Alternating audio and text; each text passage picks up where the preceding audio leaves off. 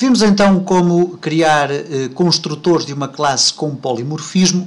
Vamos eh, aqui eliminar esta, eh, por exemplo, aqui esta, este construtor, esta variante da, da, construção, e neste caso, quando regressamos aqui à construção dos objetos, reparem que já não é possível criar o OBG2 sem atribuir os parâmetros, uma vez que nós eliminamos o polimorfismo que existia dentro do construtor da classe. Então nós vamos aqui eliminar aliás, vamos eliminar todo este texto porque vamos começar a criar objetos novos. E neste caso, vamos criar os objetos, vamos também, curiosamente, eh, retirar daqui eh, o construtor e nós podemos ter classes sem ter construtores.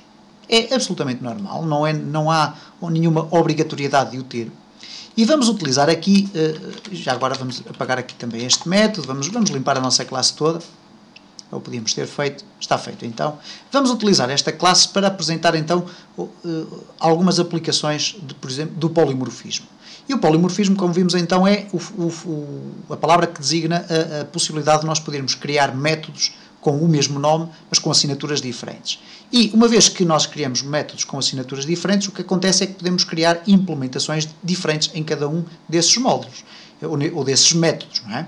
Então, se nós colocarmos aqui, por exemplo, public void uh, apresentar. Ups, assim, apresentar é lá apresentar mensagem ok? Isto é apenas uh, um exemplo uh, prático do que é, que é o polimorfismo. E neste caso estamos a criar um método que não vai retornar nenhum valor e que vai apresentar uma mensagem. E neste caso mensagem messagebox.show uh, método, ups, método sem parâmetros. Ok? E, portanto, quando nós mandarmos executar este método, ele vai fazer, eh, vai fazer esta apresentação. Ora, em seguida eu posso criar logo imediatamente o public void apresentar mensagem. Reparem que já é exatamente o mesmo nome, exatamente o facto também de não apresentar ou de não retornar dados, mas neste caso vou colocar aqui string valor. Ok? E o que eu vou fazer aqui é simplesmente o seguinte, vou replicar aquilo que aqui está, vou colocar aqui mensagem, uh, este método requer uma string, para informar qual é o método que nós estamos a utilizar. E agora vou replicar este método mais duas vezes, e neste caso vou colocar aqui uh, int e depois este método requer um int e agora aqui pode ser, por exemplo, bool, neste, quer, neste caso requer um bool.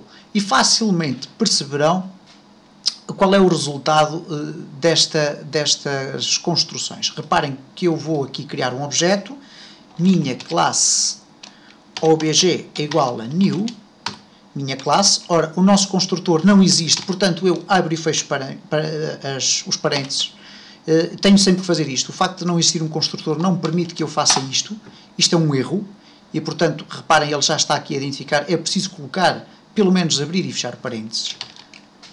Ok, já está. E agora reparem, OBG, e quando eu procuro executar o apresentar mensagem, imediatamente ela diz-me aqui à frente que void, minha mensagem, apresentar mensagem tem três overloads, isto é, existem três, ou melhor, tem uma implementação, que é esta daqui, que será a primeira, podemos assim considerar, e depois tem mais três implementações, para além da, da, da, da implementação por defeito. Então reparem, eu vou poder colocar aqui ponto apresentar mensagem, quando vou abrir os meus parênteses, ele neste caso vai apresentar aqui as quatro implementações diferentes que eu posso circular com as teclas de cursor para cima e para baixo, ou então carregando aqui nestas setinhas.